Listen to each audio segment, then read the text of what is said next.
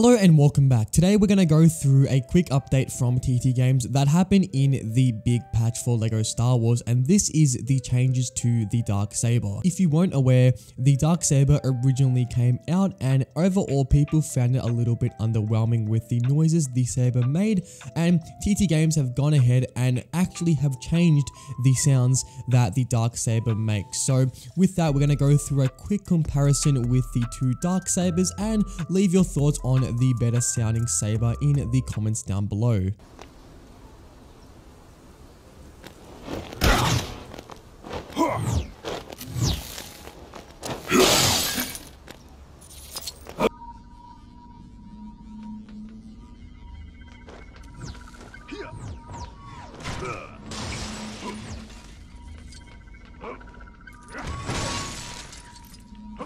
Think from a visual standpoint, I really wish that they can change the Jango Fett blaster sound as this is probably the only other sound effect that I wish can be changed. Also some of the de-ignition sounds from some of the lightsabers, some I can think of right off the bat are Obi-Wan and Rey's lightsaber. I wish that they can fix the sound of the de-ignition just a little bit so that it sounds a little bit more cleaner. And one last thing that I wish that can be changed is the jetpack duration for jetpack users. I wish that they can make it a little bit more longer because I feel like the current version is just a little bit too low. But that's pretty much the update for this video. If you guys have enjoyed, smash a like as it does help this video spread to more viewers on the platform. On screen here is another video. If you could go ahead and check that out if you can, I'd really appreciate that. But anyways, until next time, take it easy and goodbye.